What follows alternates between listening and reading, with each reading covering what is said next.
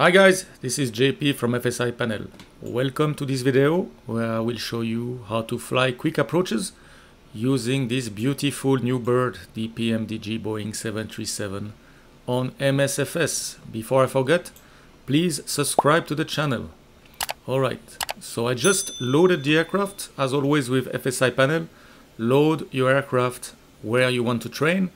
So here I choose Munich, today runway 26 left so the aircraft is loaded, we'll go in the cockpit. And as you can see in the cockpit right now, I didn't set anything. I just loaded the uh, aircraft and I have the cockpit default setup. When we load the aircraft with the PMDG on any runway, we have all the pumps on. We don't have any lights on, as you can see. The seatbelt sign is off. I show you that because you will see what FSiPanel is doing in fact and I will not touch anything in the cockpit setup. So we'll basically leave it like this and now I will start FSiPanel and we will see in real time what is happening. So let's start FSiPanel. The first thing that you will see when you start FSiPanel is the airport where you are training. So right now FSiPanel has detected that we are in Munich, Echo Delta Delta Mike. Of course you can change that airport runway 26 left. That's the runway we are sitting on right now. And another important information, the PMDG 737 has been detected. Now I will quickly show you what setups options you have for that aircraft. If you go to setup PMDG, here you have a couple of settings. First is program FMC. That means do you want FSiPanel to program your, your FMC or not? And do you want FSiPanel to program only the first approach? So then you will be in charge of setting your FMC that's a good option. If you want just to change approaches or change something you can use that feature.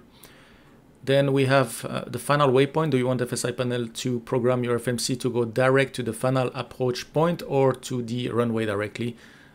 I strongly advise you to go for direct runway and reprogram your FMC if required. Then approach type priorities. So right now the default is ILS, localizer, RNAV, and VORDME. So if you are now, I don't know, training RNAV approaches, you could move RNAV to the top and FSiPanel will look for the RNAV approach if one is available and then it will set the approach basically in that priorities. So now if there is no ILS in Munich, it will look for a localizer. If there is no localizer, it will look for RNAV approach to set up your FMC. Then we have the default auto brake. In my case, I selected two. And the default landing flaps, flaps 30. Uh, that's a good uh, landing flap. Then we have the after landing flow option that you can turn on or off. By default, it's on. This is FSiPanel doing your first officer upon landing. That will do the after landing flow for you where you can concentrate on your taxi. All right, now that we have seen the basic setup, let's see how we fly an approach. So if you know already FSiPanel, you're aware that you can select any kind of position that you can customize anything you want uh, for your positions from the star, from the pilot waypoint. We have the training scenarios now as well on the advanced edition. As well now on the 737 we have the snapshots mode enabled. And for that quick tutorial I will show you how to fly a quick approach using the quick setup button that we have on the main panel. So now we are sitting in Munich on runway 26 left with the default cockpit and I will select long final and we can see here on the summary we will fly an ILS runway 26 left at 8 nautical miles and we should be at 3800 feet which is on the glide slope. So now if I click move aircraft I get a warning because my aircraft is overweight. We just loaded the 737, I didn't check anything so obviously I'm overweight so if I click overweight I will accept to fly an approach in overweight situation. If I click set max landing weight, then FSiPanel will automatically set the maximum landing weight for the 700. And if you click on new load, then you can change your fuel and zero fuel weight as you like. So that's what I will do. I'll reduce a little bit my zero fuel weight and as well a bit of fuel, less, less fuel, sorry, we go about 56.4 tons. Now we are good to go. So when I click update load, now we will see what happened with FSiPanel. So as always, do not touch anything until you are asked to do so. You see my control preparing your aircraft standby. the first thing you will see the flaps moving to 40, 30, sorry. And then we go in the air. So don't touch anything. Just watch the show and let FSiPanel do the job. And it will take around 40 seconds to be ready. You see FMC programmed here. You see the uh, mode control panel has been set. We are reaching 3,800 feet. We are in MCP speed heading alt-quad. We have the RS frequency set. The correct QNH has been set. And now we are finishing as well the uh, FMC setup. I will just acknowledge the uh, ATC, otherwise she will get pissed. All right. That's it.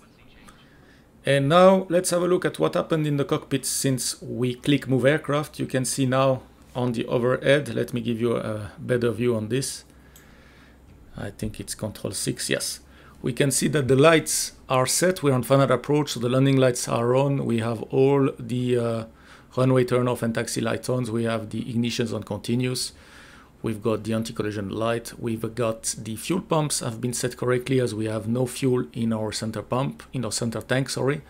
So that has been done as well. If I go back in the captain seat, I can see that I have the uh, localizer course on both sides. My speed is 137. If I look in the uh, FMC, we can see that uh, the right speed is 131 plus 5. And now it is a 137 which is the correct speed for the approach. Heading is set and we have the FMC if we look in the FMC quickly what has been said by FSiPanel if you look into the route we have Munich to Munich and we have the ILS so now you're free to change anything you want. The aircraft is in position freeze so you can change anything you like and eventually take a snapshot if you plan to do a couple of ILSs or use again uh, the position. If we look into the speeds, we have the zero fuel weight, which has been set. We can see that in the performance page, where FSiPanel has set all the uh, value for you.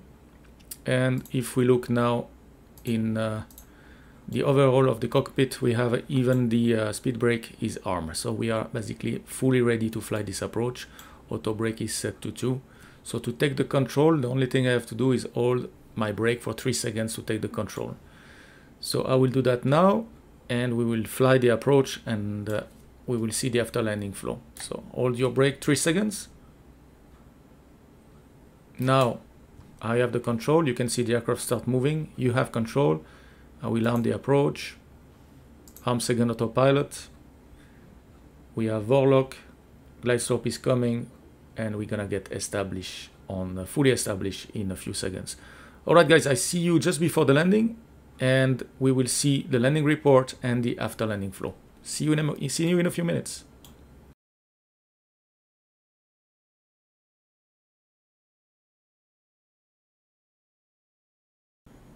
All right, 500 feet, we are stable.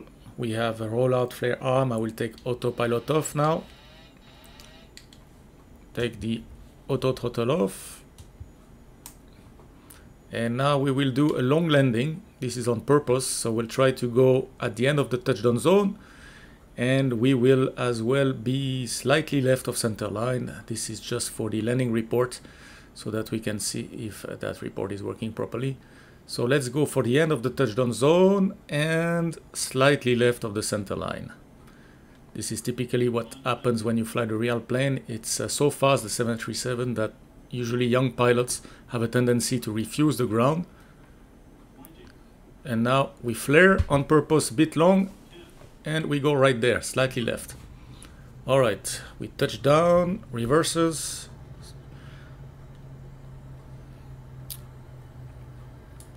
Manual braking, auto brake is disarm, and we will just stop here on the runway. Here we go. So I will show you, sorry, vacating the runway. I show you now the after landing sequence.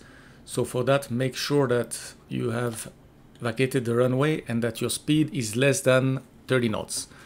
So now the only thing you need to do to have FSiPanel doing your first officer after landing flow is to retract one notch of flaps. So I will do that now. And now this is what FSiPanel is doing. We will see that in a couple of seconds. I will stop there. Let's set the parking brake. And let's see.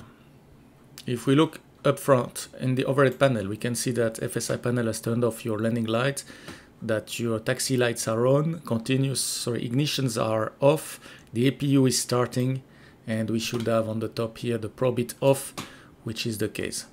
Now if we look into the flaps, they have been retracted. The transponder is on altitude reporting off for your taxi. So basically FSiPanel has done everything for you now to taxi your plane to the gate without having to worry about the after landing flow. Let's have a look at our landing report.